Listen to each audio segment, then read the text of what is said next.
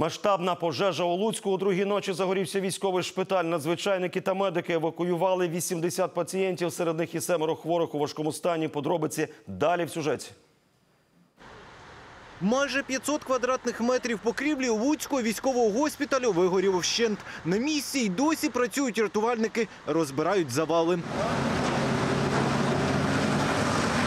Пожежа сталася о пів на третю ночі. І вже за лічені хвилини прибули перші бригади рятувальників. Мешканці сусідніх будинків дуже злякалися, бо вогонь міг перекинутися і на їхні оселі. Ця сторона почала горіти, а вікна там третій поверх, це ж це ж зараз і на, на кришу.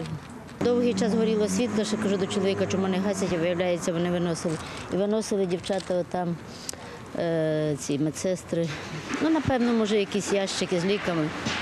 І тоді, а тоді виключили комунікації, світло і почали пожежники працювати. Персонал одразу кинувся евакуйовувати пацієнтів на вулицю. Усього майже сотня людей, серед яких були і лежачі. Виносили і майно, зокрема медпрепарати. Все палало, ну, палало безпосередньо дах. Е, Пожежники працювали, було евакуйовано людей з приміщення потерпілих.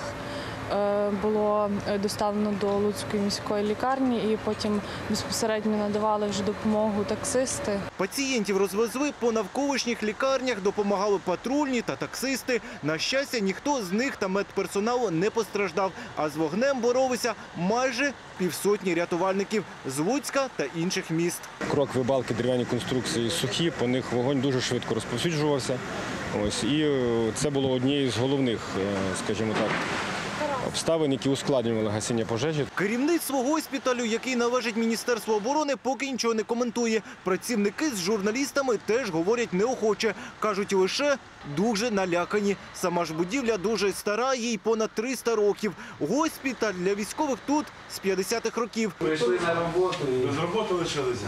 Причини такого масштабного займання назвуть експерти після всіх досліджень. Олег Корнієнко, Катерина Курбанова, Павло Лісімненко. Факти ICTV.